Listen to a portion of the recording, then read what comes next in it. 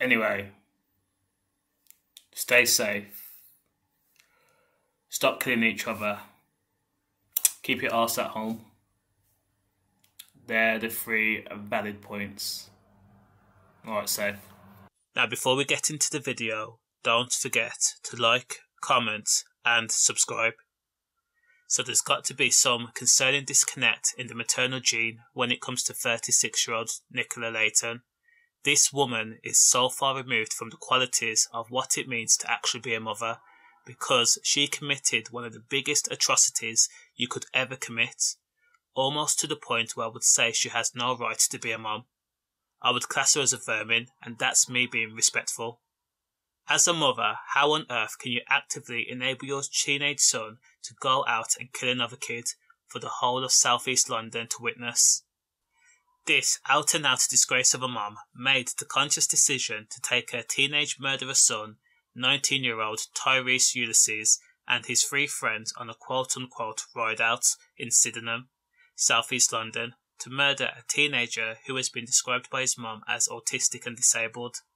Correct me if I'm wrong, but preying on a teenager who is at a disadvantage when it comes to relating to other people or feelings pertaining to social norms makes you an out and out scumbag. The disability, which affects how people communicate and interact with the world, puts the individual already at a disadvantage. And now, three teenagers and a mom have taken his life away for what?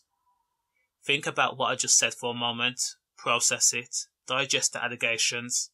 A mother a person who's supposed to nurture and guide their offspring and hopefully encourage them to become an upstanding member of society, knowingly played a significant role in the death of 17 year old Levi Ernest Morrison in what has been described as a pre planned attack. Why? Alright, so it could be argued that the mom did not know what her child and her friends were going to do, but it's pretty hard to hide four machetes in the car and couple that with the fact that tires were heard screeching at the scene of the crime before three teenagers jumped out to ambush Levi Morrison, and the mom decided to jump out too and get in on the attack. The murder that took place on April 10th in broad daylight in the vicinity of shocked witnesses. The court heard how four suspects, yes, the mom was included, 36 year old Nicola Leighton, began attacking the teenager. Again, this was a pre planned attack that must have left the 17 year old Levi Morrison confused and dumbfounded and in excruciating pain. Excruciating pain is an understatement. Witnesses at the crime scene described a good Samaritan attending to the dying victim and explained how he actually held the victim's organs inside his shredded body. The mom, who I have no words to adequately describe her, should have known better. Instead of getting involved in the attack and striking Levi Morrison and stabbing him, she should have sat her teenage son down, looked him in the eye, and told him no child of mine will be a convicted murderer, and to stop and fix his bad man persona and read a book. Instead, what she did was join in on the murder. Along with 19 year old Tyreese Ulysses, three teenagers aged 14, 15, and 17 have also been charged with the murder, along with Tyreese Ulysses' mom. 17 year old Levi Morrison was described as a beautiful boy with a beautiful heart. He was also autistic and had a disability. For all his limitations, he lived the best life he could, and in return, four teenagers and a piece of SHIT mom took his life away from him because she did not have the grit and balls to actually be a mother and stop her son from killing another person. I mean, he was literally stabbed to death in the midst of a busy street right off the junction, Hazel Grove, for everybody to see.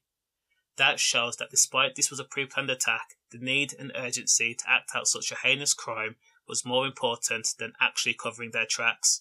Do you know how spiteful and vengeful you have to be to kill someone in front of witnesses and not give a care in the world if you are caught?